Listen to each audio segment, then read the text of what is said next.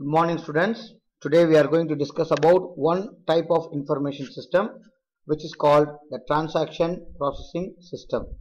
So basically our topic will only restrict to this one particular type of information system. Already we know there are four types of information systems. Number one is transaction processing system.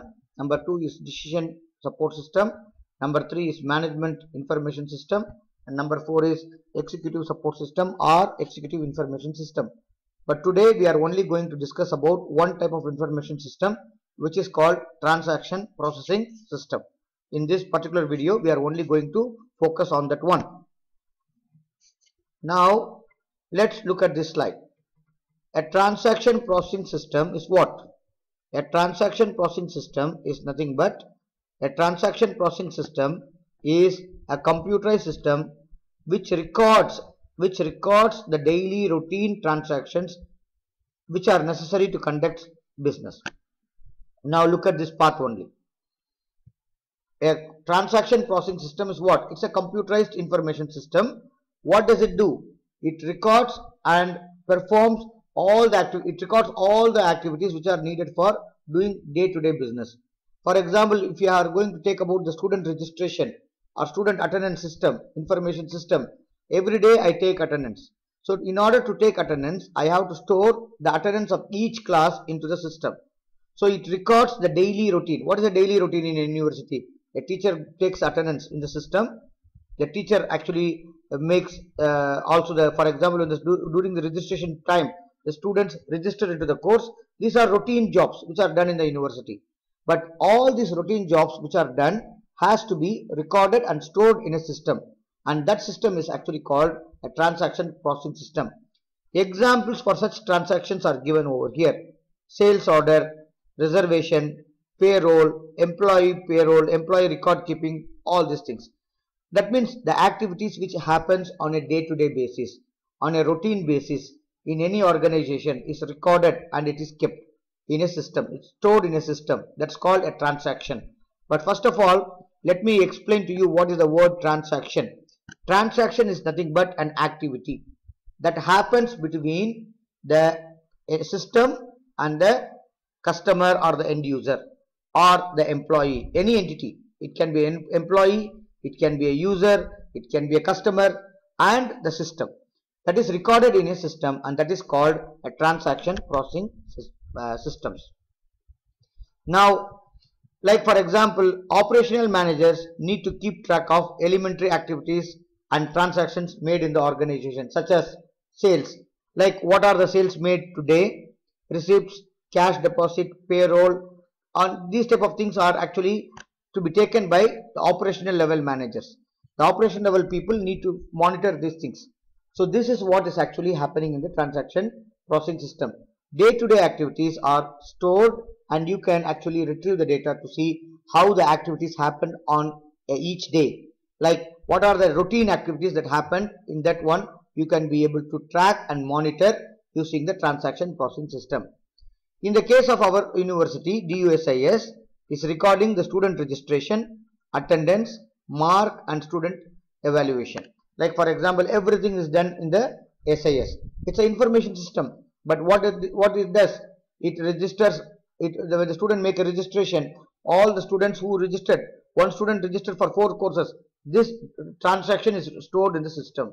That's why this data is used by the SIS to produce the class list.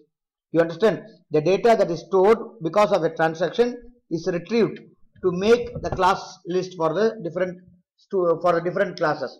And similarly, you can see that it is also helpful for attendance. When the class is when the class list is ready, the teacher takes attendance and automatically when the student is actually crossing a certain amount of absences, it gives a warning message. So this is what is the whole idea is about. And the principal purpose of this system is to answer routine routine questions. Like routine activities are monitored normal simple activities which does not require any decision making. We are just checking that okay how many students entered? We want to store the data. So using this data we are actually storing the information which will be the data for the higher level of information systems like MIS and DSS look at this one now the student, the teacher is actually entering the attendance here. it is stored into the system. So now whenever I want to check how many students are absent on a particular day, I can get the information very easily from the system. So this is actually an example of a transaction processing system. I will now also talk to you another example about a payroll TPS. You can see this payroll TPS. In the payroll TPS, what do you see now? You see a system which is called a payroll TPS. In the payroll TPS, you can see that the employee data is actually entered into the system. In there is a file which is like a database. In the database file, you are going to store the information about every employee. His employee number, his name, his uh, pay rate, gross pay, tax, all the information are stored into this system. When any new employee joins, his employee data will be stored into the database and it is in an employee database and it is going to be in an employee database file. Okay. And now when I am going to actually store this information, then the payroll system, from the payroll system, this data is stored inside and it can be retrieved at any point of time. If I want to see any information about any employee, system should be able to give me the information when the system is able to get the information every month we have to make a payroll. You know what is a payroll? When the salary date comes we have to give them the pay. So this system is actually a system which is responsible for making the pay for every month. So the employee details are in the system. Say for example on 22nd of every month the company wants to pay the employees the salary. So the the payroll employee the clerk or the uh, officer in, in charge of the payroll will try to execute, will, will retrieve the data from the employee file and then he will be able to do what? He will actually generate the payroll.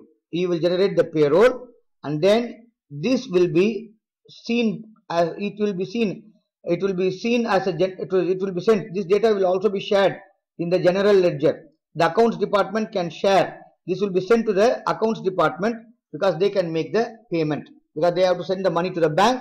So they will actually, it will be sent to the general ledger. And also it will be sent to the government agencies because sometimes we are actually going to have taxes in some countries. In Oman, you don't have taxes for salary, but in some countries you have taxes for salary. So the government agencies will give this, will also be given this detail and the tax that has to be paid to them will be automatically sent to the government agencies. And also the employee paychecks will be sent to the banks so that the money will be deposited in the bank. So the process is to generate the payroll. Once the payroll is generated using this file, because you have the information on the pay, what is the tax, what is the net pay, everything is there in this one. So automatically it will generate the payroll. Once the payroll, what is the payroll? List of employees, what is the salary for them, any deductions, any extra thing that has to be paid, what is the net pay that they will get.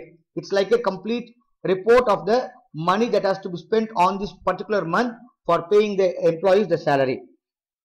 So once the payroll is generated for a particular month, it is sent to the general ledger because the accounts department should note the, this in the accounts that this much salary is paid.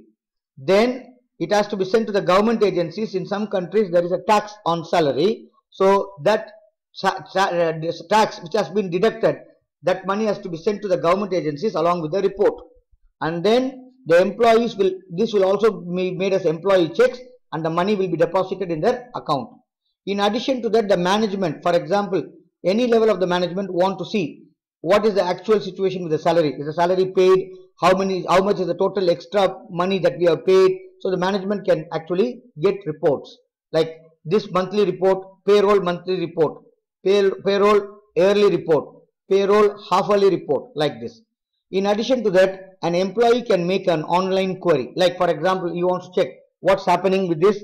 Uh, like he can make a query. What was my salary two, three months before? What is the salary I got for the last six months? So he can make online queries also. So this is an example.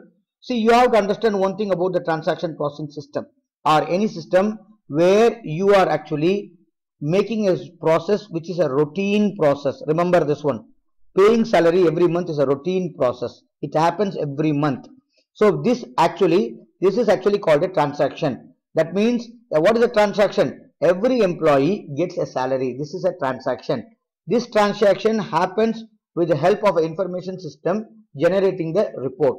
So this has to be stored in the system and the reports are generated because this is a very routine thing there is no need for doing any manipulation or any decision making. So this is an idea of transaction processing system. I think with this we will conclude this lecture. In the next lecture we will see about another information system. Thank you very much and see you then. Assalamu alaikum warahmatullahi wabarakatuh.